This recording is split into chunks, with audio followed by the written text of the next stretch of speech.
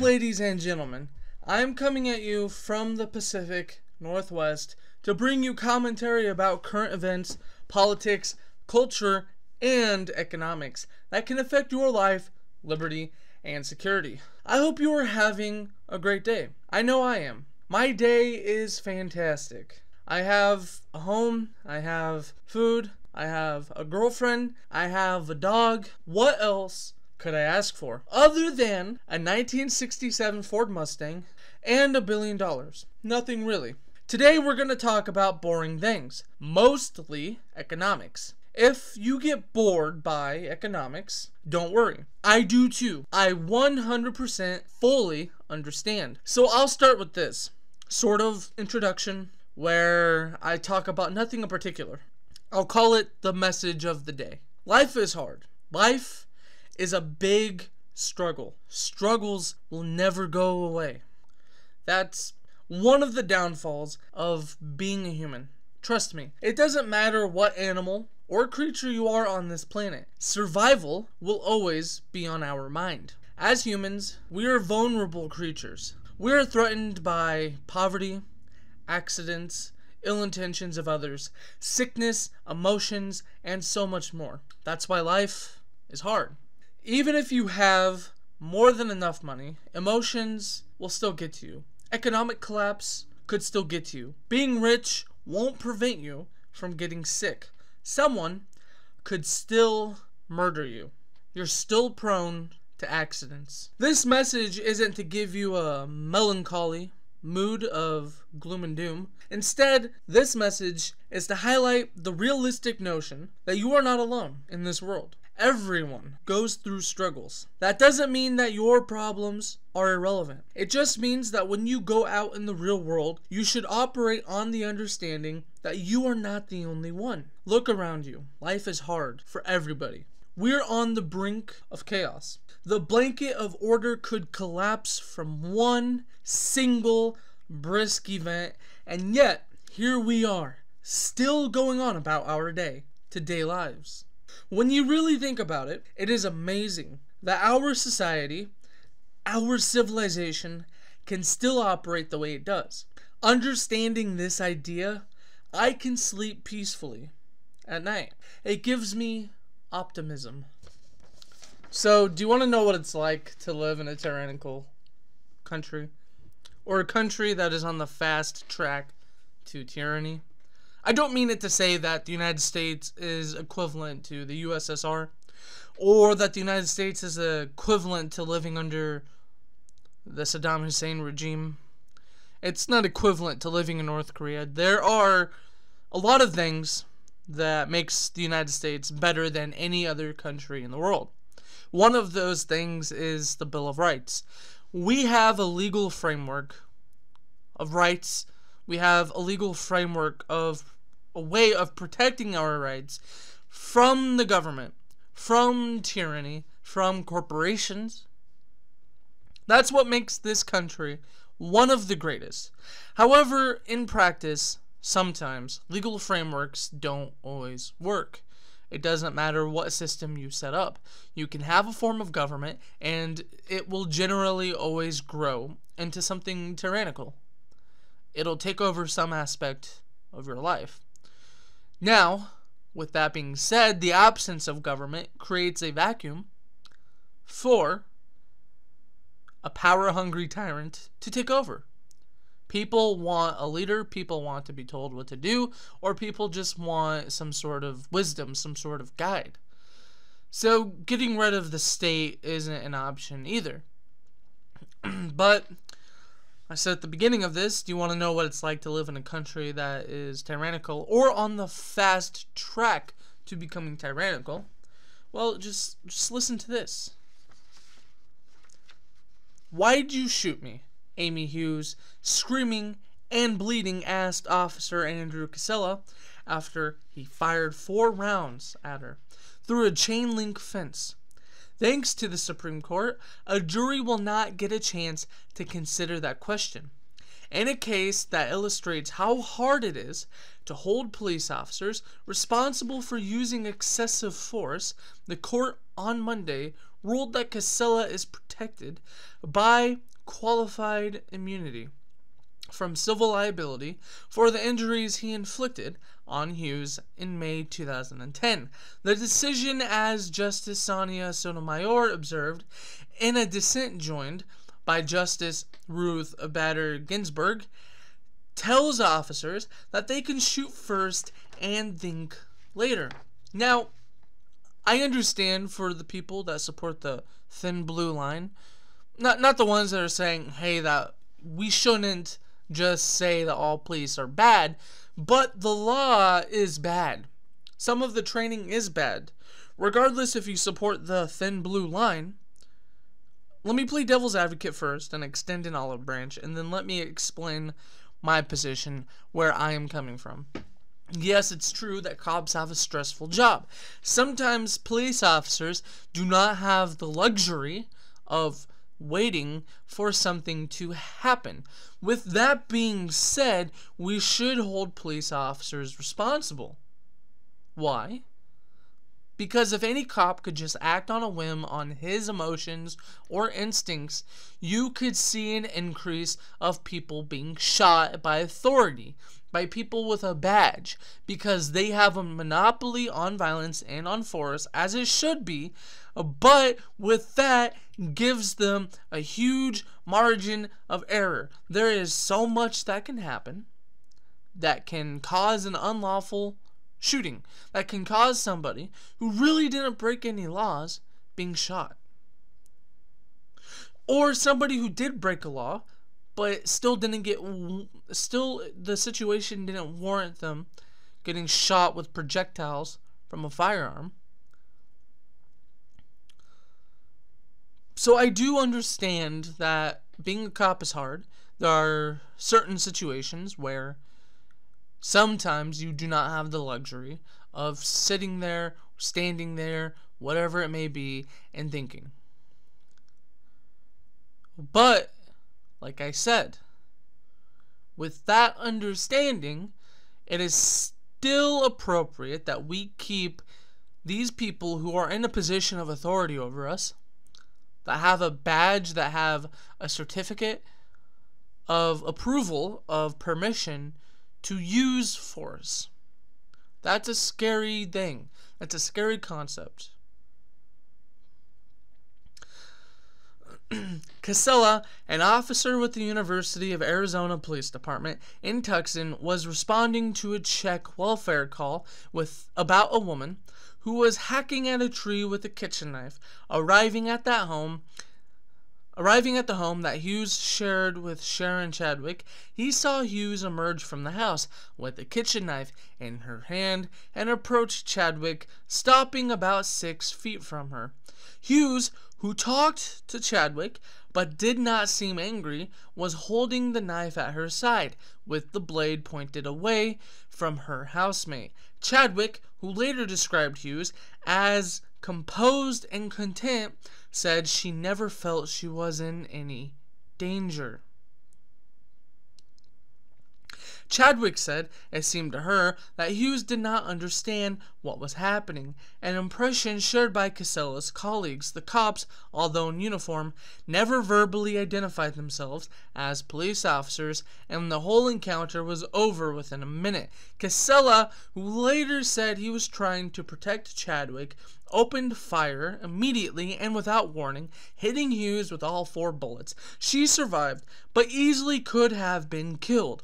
Neither of the two of the two other officers at the scene, let me say that again. Neither of the two other officers at the scene resorted to deadly force. Kisela could have used his taser instead of his gun. He could have repeated the command to drop the knife. He could have at least warned Hughes that if she did not comply, he would fire. So, when I extended an olive branch, when I said I understand that sometimes as a cop, you do not have the luxury of standing there and waiting until something happens to use your authority or your permission to authority to dismantle the situation.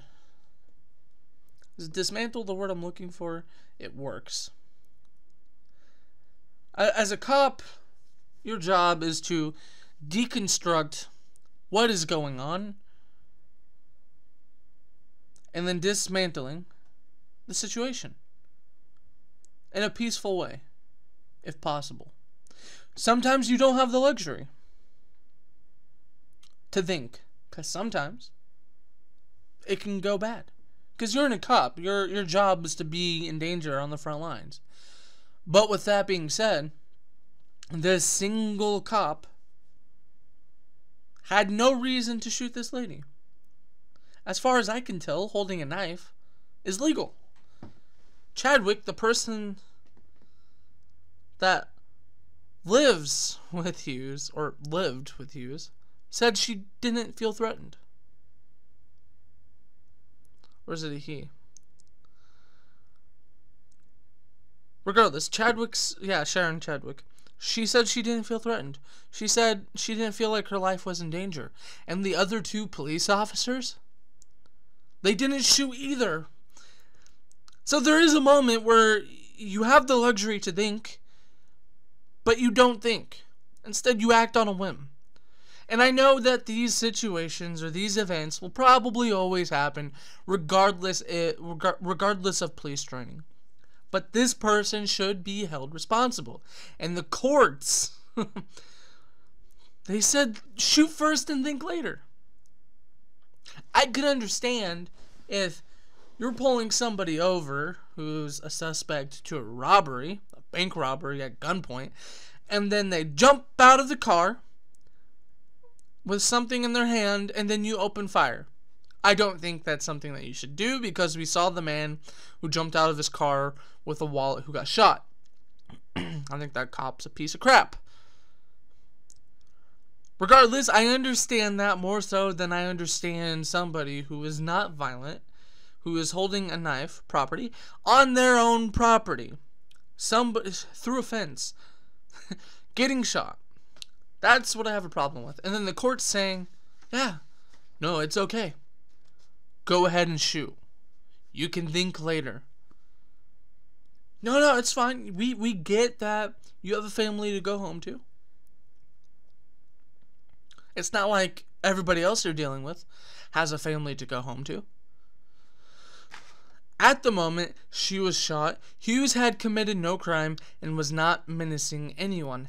After Hughes sued Kisela under federal law, that allows people to recover damages for violations of their constitutional rights. The U.S. Court of Appeals for the Ninth Circuit concluded that a rational jury could find that she had a constitutional right to walk down her driveway holding a knife without being shot. Well, yes, of course you have a right. You have the Second Amendment. You have the right to bear arms. You have the right to have firearms on your own property. And in this case, she had a knife and was walking down the driveway. Who apparently, according to the two other officers at the time, and then the person that lived in the same residence as the person who was shot, who was holding a knife, said that their life wasn't threatened. They didn't feel threatened. Not to mention, it was also through a chain link fence. Regardless of the situation, even if the shooting was warranted,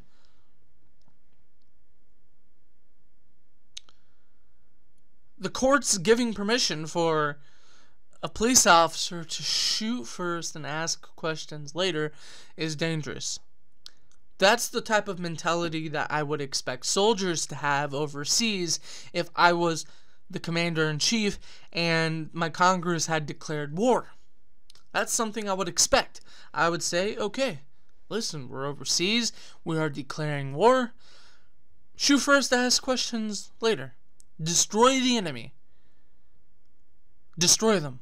Blow them off the face of the earth so they are no longer a threat.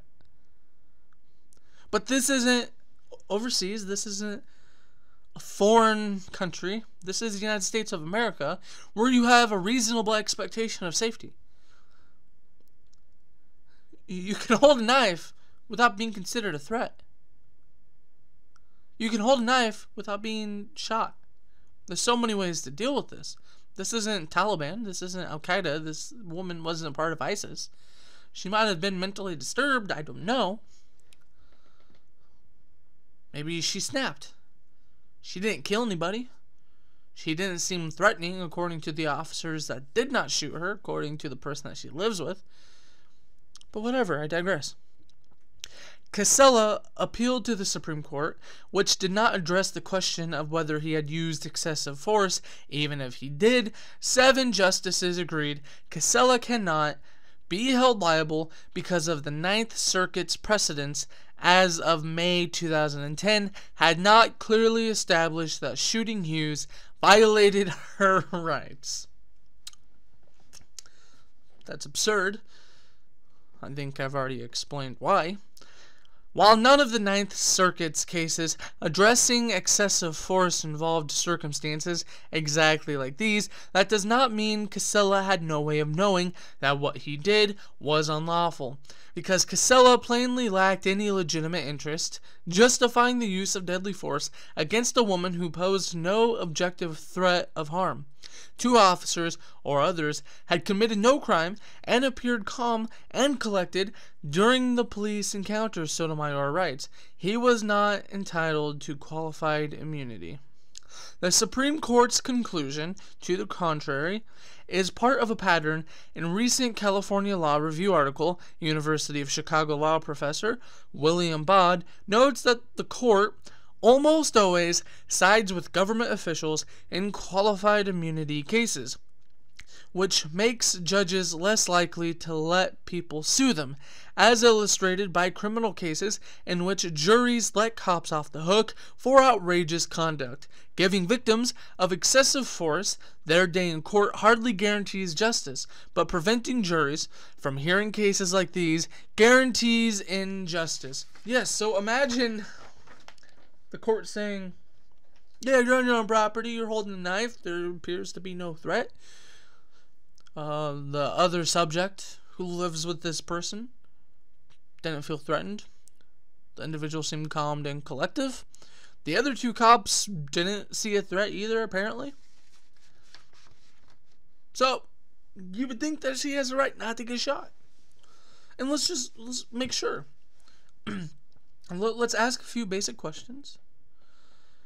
And then let's ask what rights does she have that we can use to apply to her right to not get shot, which was obviously violated. Why was she shot? Why did only one cop shoot? What law did she break? What law did she violate? What reasoning? Why did she break this law if she broke a law? Why did the cop feel the need to shoot somebody who really didn't break a law? So let's talk about the Fourth Amendment the right of the people to be secure in their persons, houses, papers, and effects against unreasonable searches and seizures shall not be violated, and no warrants shall issue but upon probable cause, supported by oath or affirmation, and particularly describing the place to be searched and the persons or things to be seized. Now that's not that's not entirely relevant, but it but it it solidifies the fact of property rights that she was on her property. And effectively, you can see that she was seized in a manner. The only reason they really had was that she was wielding a knife. And I say, so what? You can walk into any grocery store at the age of frickin' 12 and buy a kitchen knife from self checkout. You will not get ID'd. You know why? Because a knife is not illegal to own. You can you need knives for various things, cutting cutting food. it's that simple. Now let's look on the Fifth Amendment, something that Uh, should be apparently obvious. No person shall be held to answer for a capital or otherwise infamous crime unless on a presentment or indictment of a grand jury, except in cases arising in the land or naval forces or in the militia, when in actual service in time of war or public danger, nor shall any person be subject for the same offense to be twice put in jeopardy of life or limb, nor shall be compelled in any criminal case to be a witness against himself, nor be deprived of life, liberty, or property without due process of law, nor shall private property be taken for public use without just compensation. So, the Fifth Amendment goes over things about uh, when you're able to be punished, when your life, liberty, and property shall be used against you or shall be seized. It's when when you break a law, also, uh, double jeopardy. It outlaws that you can't be charged for the same crime twice. And it also talks about uh, eminent domain, the ability for the government to seize your property if you haven't committed a crime. Basically, what the Fifth Amendment says is that, uh, yeah, you need to have break in a law in order for your life, liberty, and property to be threatened. You need to have break in a law. And if you're on your own property holding a knife, not in danger to anybody, you have the expectation to live. your life should not be threatened. You have an expectation of, of life, liberty, and property. But because courts err on the side of courts err on the side of uh, the cops almost always. That's what we get. So before somebody is targeted by the police, there needs to be reasonable suspicion. What law did they break? Are they actually posing a threat? And if a cop makes a bad call, to some extent they should be held accountable. Now, understand that if you're a police officer, like I said, let me extend this olive branch one last time. Mistakes will be made because that's part of the job. It's scary that it can happen, but sometimes there's not always the intention of ill will. There's not always um, the intention of malice. So let's talk about the Sixth. The Sixth Amendment. So the Fifth Amendment, the, the Fourth Amendment says that your your property and your papers should be secure. Basically, your right to privacy.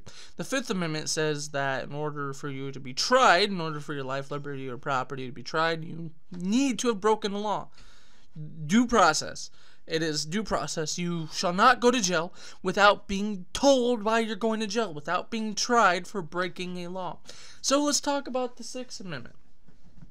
In all criminal prosecutions, the accused shall enjoy the right to a speedy and public trial by an impartial jury of the state and district wherein the crime shall have been committed, which a district shall have been previously ascertained by law, and to be informed of the nature and cause of the accusation, to be confronted with the witness against him, to have compulsory process for obtaining witnesses in his favor, and to have the assistance, of course, for his defense. So, of course, this is an extension of the rule of law. And in this case, the rule of law was pretty much bypassed on the side of police officers. So let's talk about qualified immunity. Basically, qualified immunity is a type of legal immunity. Qualified immunity balances two important interests the need to hold public officials accountable when they exercise power irresponsibly, and the need to shield officials from harassment, distraction, and liability when they perform their duties reasonably. That came from the court case of Pearson versus Callahan. Specifically, qualified immunity protects a government official from lawsuits alleging that the official violated a plaintiff's rights, only allowing suits where, where uh, officials violated a clearly established statutory or constitutional right, like being secure in their persons and their property, like uh, due process. um, when determining whether or not the right was clearly established, courts consider whether a hypothetical reasonable official would have known that the defendant's conduct violated the plaintiff's rights.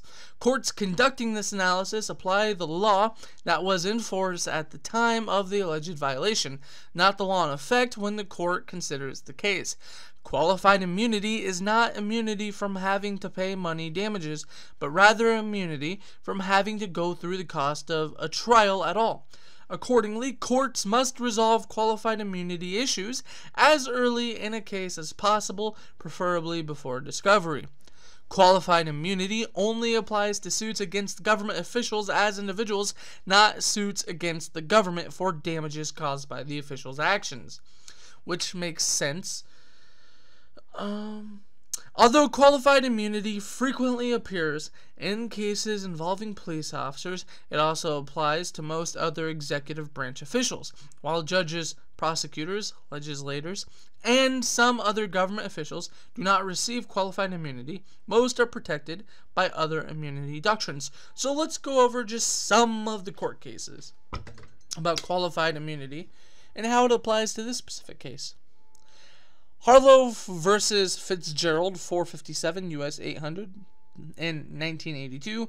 Police are free from lawsuits if their actions fall within the scope of their job. Okay, so keeping the peace, de escalating or de escalation of uh, events, protecting your rights, protecting your life, liberty, and property. Shooting a woman holding a knife who holds no threat is not within the scope of your job. It just isn't especially if you have a reasonable expectation to be safe on your own property and everybody else around you is like yeah no it, this person didn't pose a threat. And they were shot through a fence. Malley versus Briggs or Briggs sorry. Malley versus Briggs 457 US 355 1986 Police officers are not protected under qualified immunity if they act on a faulty warrant, wrongfully arrest someone, or if there was no reasonable suspicion. So far, the only reasonable suspicion was that she was a little crazy because she was hacking at a tree with a knife. And she was holding a knife on her own property. But just because you're holding a knife and you might be a little unstable, it doesn't justify the use of force to end your life, especially when you deserve due process to prove that you have broken a law.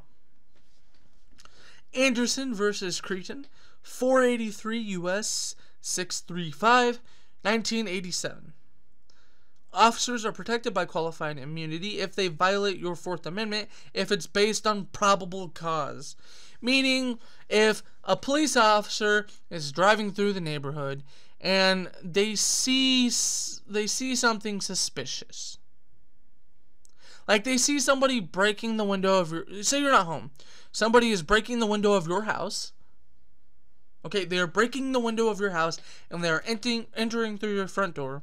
Then it's probably reasonable that the officer might go knock on the door, enter the house to protect your property because hey, this masked individual who looks awfully like a burglar broke into your house. That violates the Fourth Amendment. Or if you are running from the police, you're a suspected, you get pulled over because you're a suspected bank robber, and you speed off and the police chase you, and you run into your house, the police have a reason, reasonable suspicion, to run into your house after you, even though it's your own property. Because, hey, you're a suspected bank robber, you were caught, and you're fleeing from the police. That's reasonable suspicion. What a cop cannot do, however, is go up to your house and say, hey, I think there's weed in here. I'm coming in. They can't do that unless they actually think there's weed. So, for instance, somebody calls and reports, hey, there's a weed smell. And then the police show up and, hey, guess what? They smell weed. Then they can legally come in. Now, I think weed should be legalized, but that's besides the point. That's explaining reasonable suspicion. Safford Unified School District, number one, versus Redding. 129, St. Clair. I think it's St. No. Uh, I'm not sure what that what, what that abbreviation is. Uh, 263. This was a court case in 2009. At school, teachers and school staff may search your stuff for illicit items.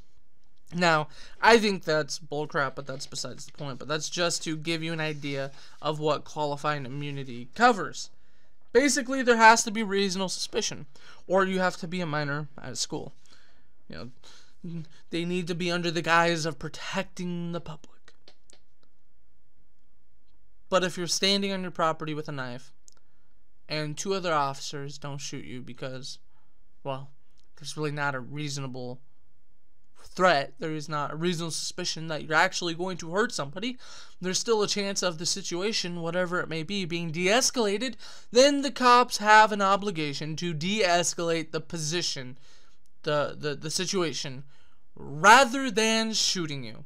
When one out of three officers shoots, instead of two out of three, you know there's a problem. When the person who was involved with the person wielding the knife says, hey, my life didn't feel threatened, you know that something is wrong. So Rand Paul might save us all. Republican Kentucky Senator Rand Paul announced on Wednesday, by the way, this was in the beginning of April. Uh, this article is written on the 11th of April. Several days have passed by. I haven't been able to cover this story yet, so there's that, in case you're wondering. Anyway, um, Republican Kentucky Senator Rand Paul announced that he plans to introduce a bill that would balance the budget within five years. The chairman of the Federal Spending Oversight and Emergency Management Subcommittee for the Homeland Security and Government Affairs Committee says the bill will cut spending across the board while implementing entitlement and welfare reform. Paul, who has consistently supported tax cuts as well as spending cuts, says his bill will bring our fiscal house in order, noting that Congress passed a budget last year that failed to balance and added hundreds of billions of dollars to the debt. The recent spending bill is even worse. Paul says Congress does not appear to have any plans to craft a budget for 2019. However, according to the current Senate rules, if leadership of the budget committees does not introduce a budget, a senator can. No more trillion dollar deficits, he said. No more adding to the 21 trillion debt that burdens our country and our children and our grandchildren.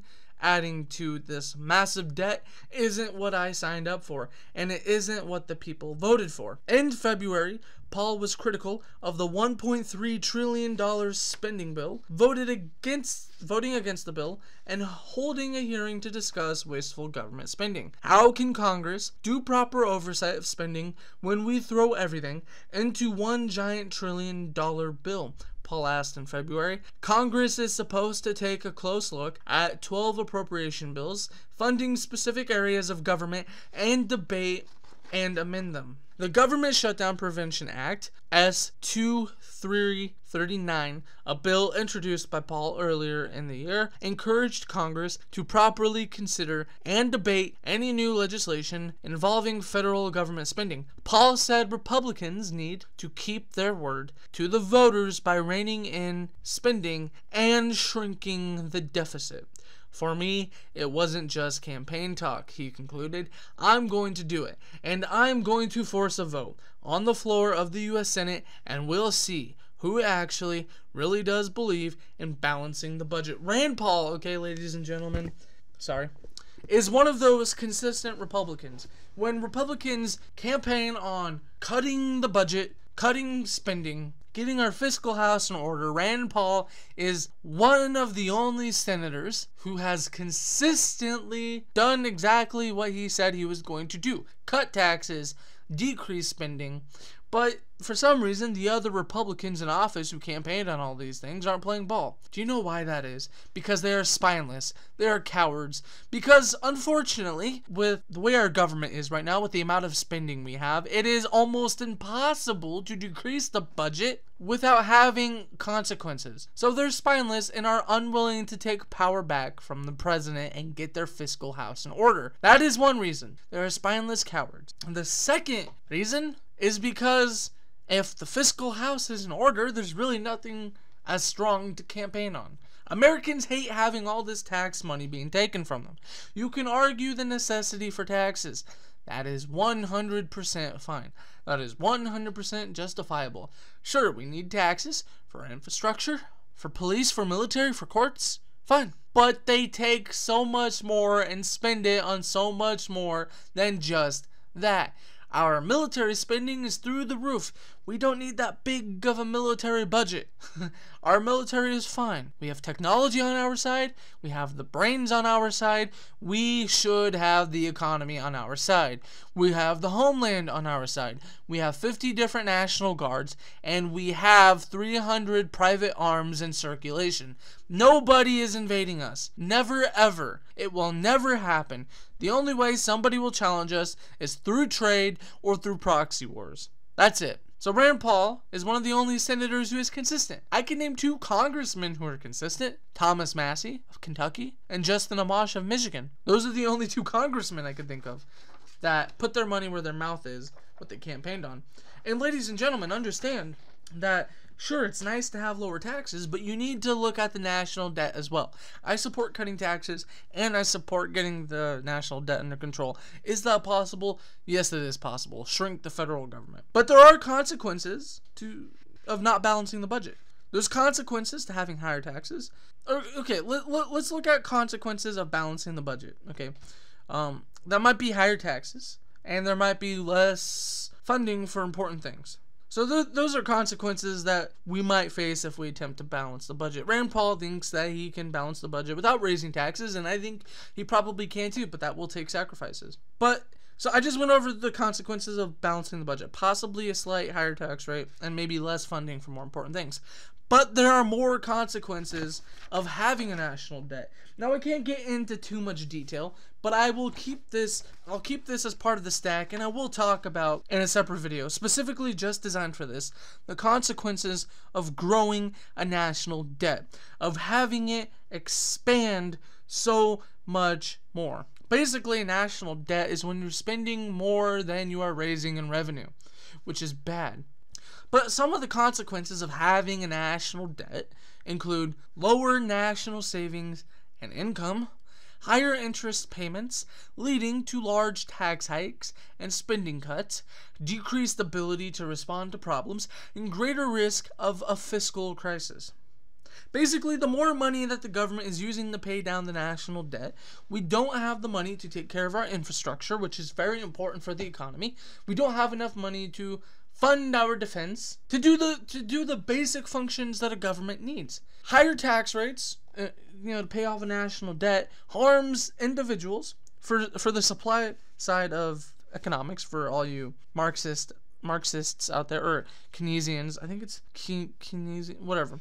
For all you uh, spending, spending, spending advocates out there that think that the more people consume, the better the economy does. A national debt isn't the way to go because you have to raise the tax rates for the consumer in order to pay off that national debt because it's so huge.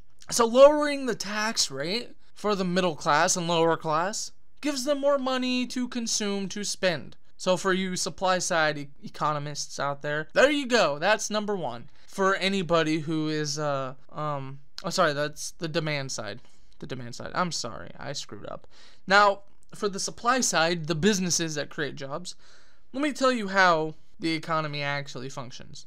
Going out and spending stuff doesn't make the economy go better. Doesn't make the economy boom. It might temporarily feel good. That's why I call a steroid boost or a boost of adrenaline for the economy. Because if the economy did do better and people were spending money, then that means everybody could go and take out debt buy a house, buy a car, stuff they can't afford, and the economy would be doing good. But that's not how it works. The economy does good the more you produce. The more production, the better the economy is. The more you save, the better the economy is. And I will explain that. I know the saving part doesn't make sense, but production, this is why it's beneficial for the economy. I don't know where it's at. I'm going to look up the story and next time I have an episode I'll talk I'll talk more in detail about it. But you know, we grow in certain areas so much potatoes that we can't that it's not even worth shipping it because people won't buy them because we won't sell them. That's how plentiful potatoes are. So what you know what they do? They dump it in this field. And I'll I'll look up the story for you, don't worry. But you know what happens to those potatoes that aren't even worth trucking or shipping because there's so much of them? And they won't even make a profit. They dump it in the field, which is cheaper. And guess what you can do? You can go to the field and get free potatoes. That's what you can do. That is production. Guess what? Those potatoes are so cheap There is more than can be consumed, so you get free potatoes. That is post scarcity. Imagine not having to work and you get free potatoes. If you just wanted to live off of potatoes, you could. You could just live off of potatoes. I mean, there might not be a variety, but you would never starve again because the amount of potatoes that we produce is so high. So, production makes the standard of living cheaper for most people. Now, let's talk about saving. Saving is really important because if you don't have anything to spend money on, you're keeping it in a bank. And what that bank will do with your money, which is the way banks make money, is they will, let's say you have $12,000 in the bank. Somebody wants to buy a used car for $6,000, so the bank loans out your $6,000, but there's an interest rate on it. And let's say they make the interest rate high enough to where they'll make a $500 profit off of loaning out your $6,000. So somebody needs a car that costs six thousand dollars. The bank loans loans out six thousand dollars, and the person who got the loan for six thousand dollars might pay an interest of might end up paying for total about six thousand two hundred to six thousand five hundred, depending on the interest rates. So your money will make that bank an extra two hundred to five hundred bucks, and as a result, the bank makes money you get some of that money into your savings or checking your savings account as interest because your money was used to make money. And the person who bought a car is now able to be more productive. And apply that concept to business owners. Somebody has an idea. They want to implement that idea. So they borrow money from the bank a business loan and then they start producing and then they pay off that loan plus interest. And then they're producing stuff for the economy of their business gets off the ground. Production is what makes the economy go. Now, I, I, I agree there is an argument to be made for supply side, or uh, sorry, consumer side, demand side, because otherwise production doesn't matter. But that's so minuscule compared to how much production plays a role in the economy. I kind of went on a tangent, but with a national debt, it means there's less money that people are saving. It means that there's less money that's going on infrastructure, which makes the economy run. It means there's less there's less money being used for personal investments by individuals and businesses. That's what a national debt means. It means this money that is going to pay off a tr- 20 trillion a 20 plus trillion dollar debt will never be used to grow the economy. Instead, it will be used to paying off a debt that your children will have to pay. That is why it is so crucial that we pay off the national debt because eventually, at some point, the national debt will grow and consume us. All right, thank you guys for watching the Logan for Liberty podcast. I hope you all have a wonderful day. It's not all gloom and doom out there, it's not all doom and gloom. We live in a pretty great world. We live in a world where where you almost have everything at your fingertips. So make the best of it and try to get ahead of any doom that is coming. Have a good one.